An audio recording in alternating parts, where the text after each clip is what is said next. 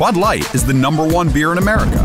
But millennial beer drinkers are harder to find than ever. So the time has come to change the game by finding fans on their home turf. Enter Snapchat, an audience of over 50 million 21 to 34 year olds, which is exactly who Bud Light wants to reach.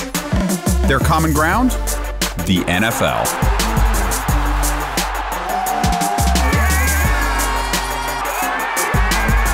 Goal?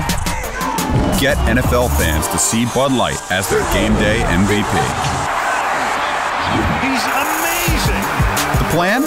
Touchdown after touchdown, all season Touchdown, and there it is. long. The magic? Let fans play with Bud Light.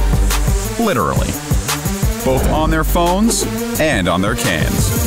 Letting fans call the plays every week or repping their teams when it mattered most.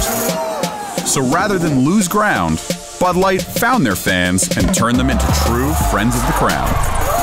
And to that we say, Dilly Dilly.